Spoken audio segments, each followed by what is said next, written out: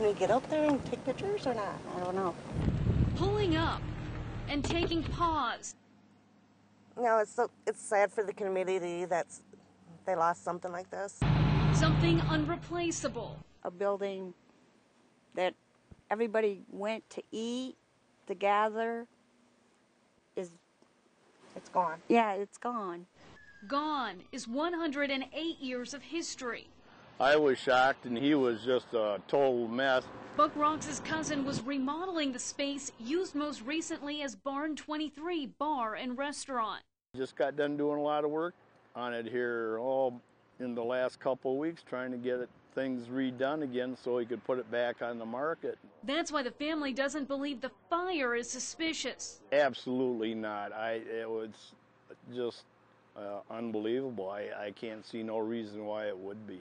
Fire investigators tell me Barn 23 is a total loss, but luckily, the hotel beside it, the Don Q Inn, was saved thanks to a group of fast acting firefighters. We did a lot of um, protect exposure protection. But nothing could be done to save the iconic barn.